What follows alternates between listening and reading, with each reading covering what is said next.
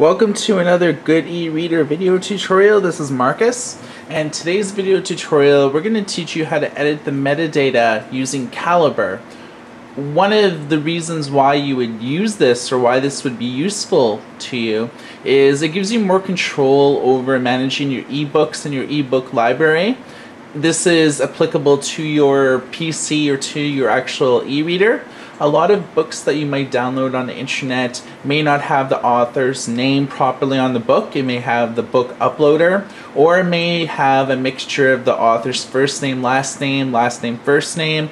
Pe different people have different preferences. We're going to teach you how to edit all of this information to make the most out of your ebook. So we're going to be using a program called Calibre.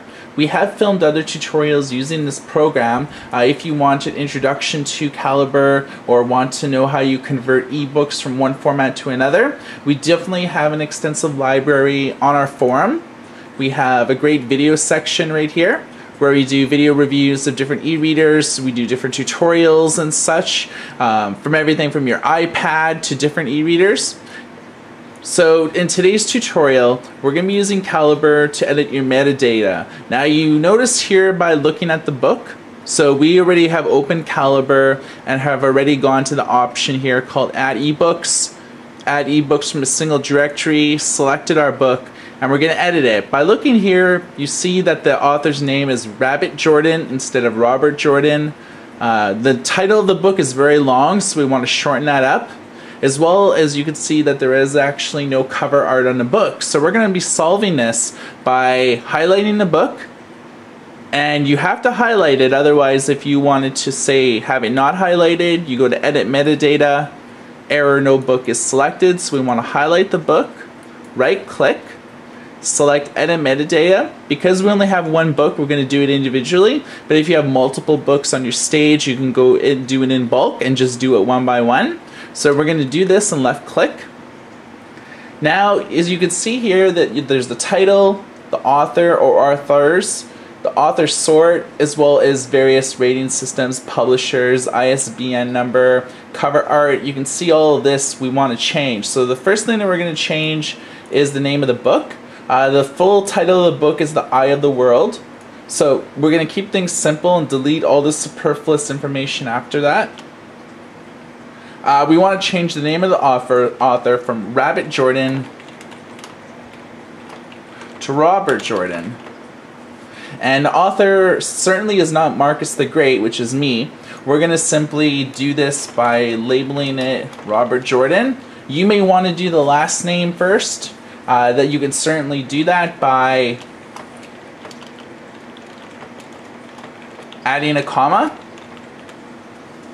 So if this is most of the way, most of the the authors that you have or ebooks that you have usually adhere to this naming convention, so this will be the one that we adhere to. And we're going to left click fetch metadata from server.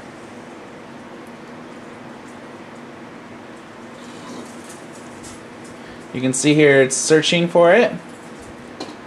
Okay, so it's found the book. So what we're going to do is keep all the default options here and press OK. Now you can see the publisher's name has been auto-filled in, as well as tags, uh, the series, which is the Wheel of Time, whereas the series name used to be here in the title, as well as the book. Uh, we generated an ISBN number, as well as the date that it was published, which was September 2000, and a plot summary of the book. Now what we want to do is get rid of the default cover art and put the real book's cover art in it. Now before we can do the cover art, you have to do these steps first. So once you've done all this, you just want to simply left click on download cover and it will put the original cover art of the book. So you simply want to left click OK.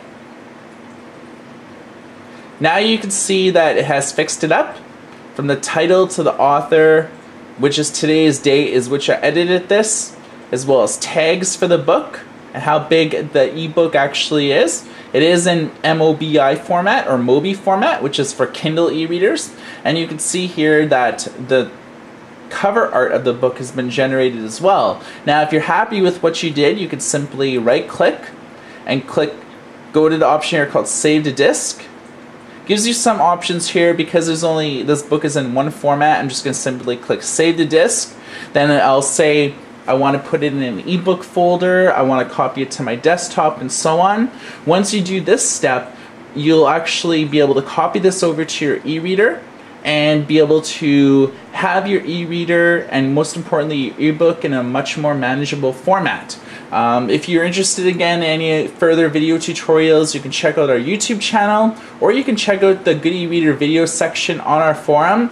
If you enjoy any of our videos, we'd like to hear from you. For Good e-Reader, this is Marcus, and everybody take care.